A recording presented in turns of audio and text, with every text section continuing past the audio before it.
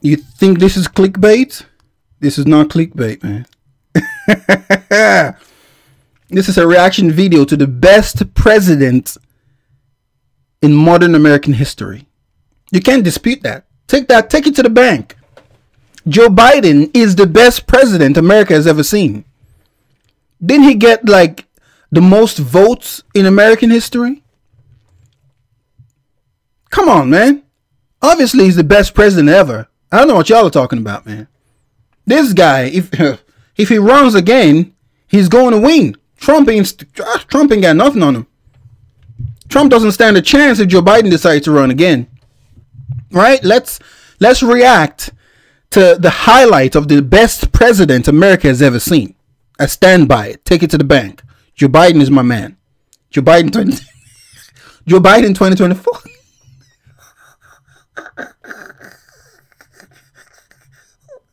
what the fuck? Joe Biden 2024. I'm serious.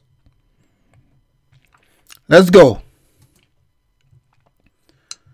Hey, the same stable genius that said the biggest problem we had in the Revolutionary War is we didn't have enough airports.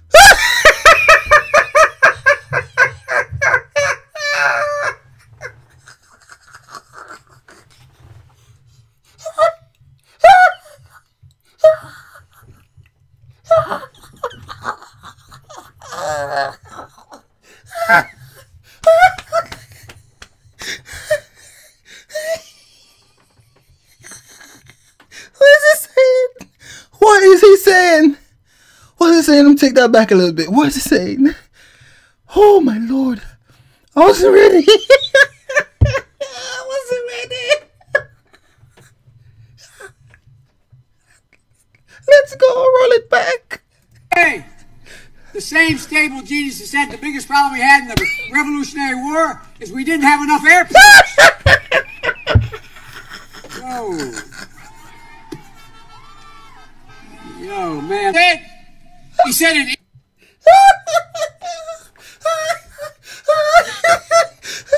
oh my lord. I'm gonna pass out. Oh no. Oh, this is too much. Oh man, I have to. Oh, I have to compose myself. Whew. I'm passing out live on camera. Alright. Oh, I'm gonna have to edit the shit out of this video, man. Oh my lord, I'm snorting and everything. Ooh.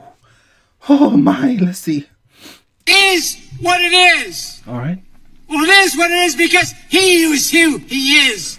That's why it is what it is. More than half the women in my cabinet, more than more than half the people in my cabinet, more than half the women in my administration are women. What did that just mean?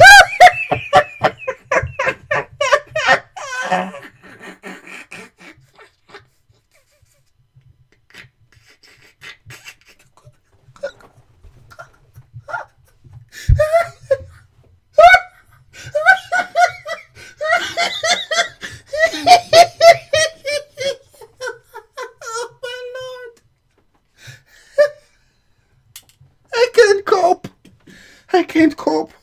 Oh, I can't do it. oh my lord, not supposed to laugh at the elderly, but this guy.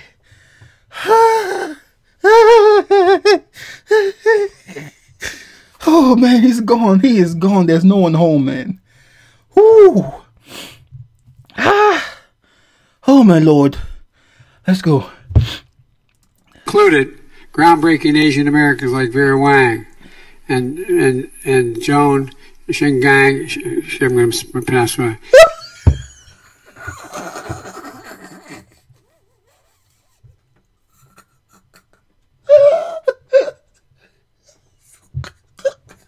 What is he saying? What is he saying? Vera Wang, my bang, bang. What is it? groundbreaking Asian Americans like Vera Wang and and and Joan Going to pronounce my.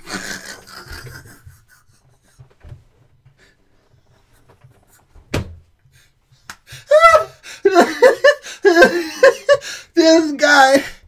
Oh my lord. Oh my lord. Oh my lord. Whew. Oh my god, this is like Mr. Bean as president.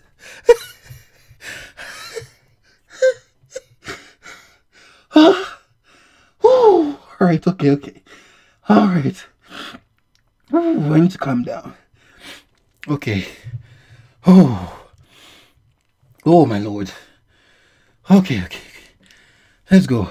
Shanga Ko- Koawa. Koala? Two, if you're two, uh, uh, if you're a family that's a two uh, wage earner, each of the parents, one making thirty grand, one making forty or fifty, maybe that's a little more than. Well, yeah, they need the money. And now I'm standing next to uh, the oh, president. Oh, Dumb and Dumber. Oh my god, imagine these two people having a debate. this one, this one in purple hoodie had a stroke and he can barely even put two words together. This one's got Alzheimer's or dementia. So both of them is, is it, it, it'd be an entire gobbledygook.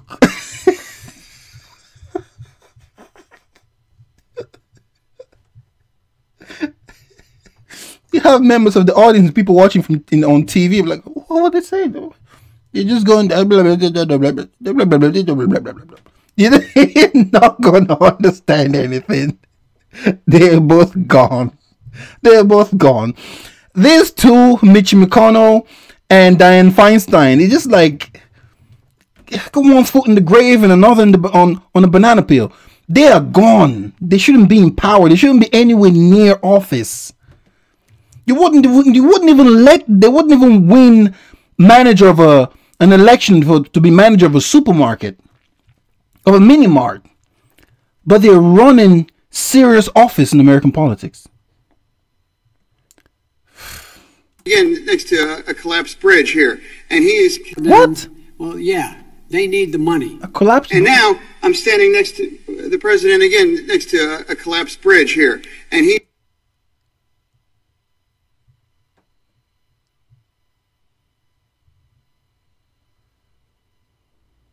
This is this a joke?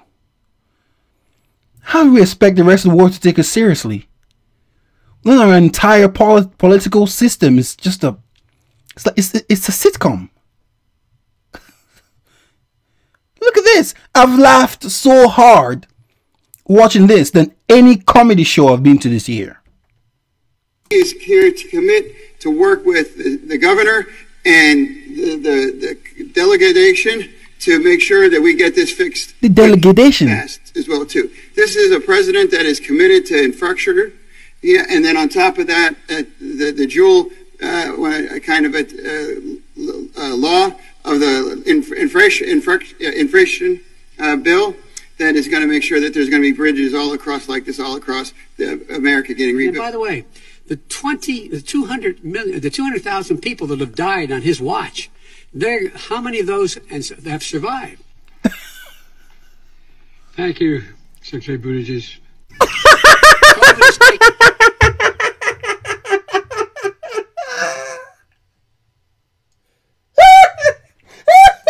how many of those have survived?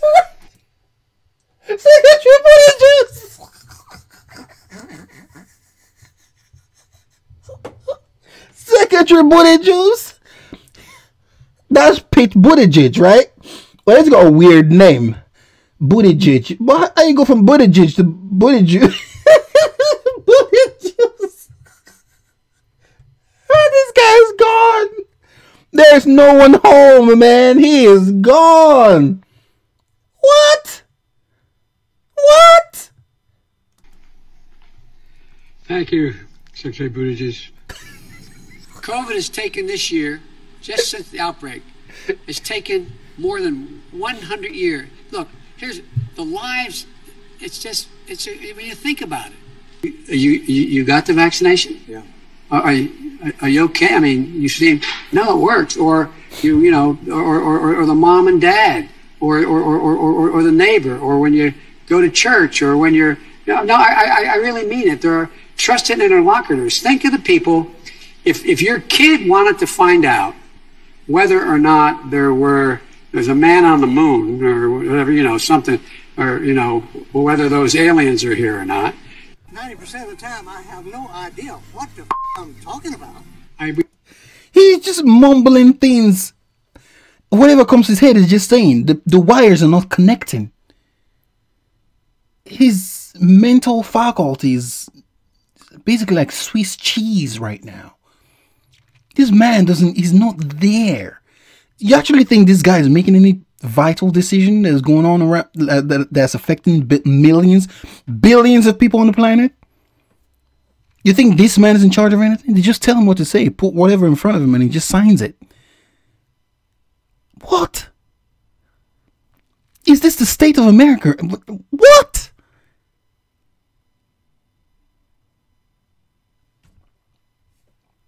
we cut the deficit by 160 billion dollars. Billion, B-I-L-L-I-O-N. dollars. The Medi-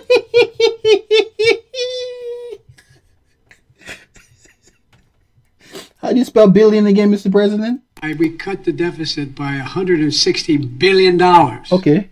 Billion, B-I-L-L-I-O-N. Whoa. Dollars on the Medicare deal. Mr. President, thank you. Thank you. Thank you very Well, I much. It's appreciate great to have you. It's Thank good you, to have thank you. you, thank Thank you. Where is it going? Where are you going? Sit back down.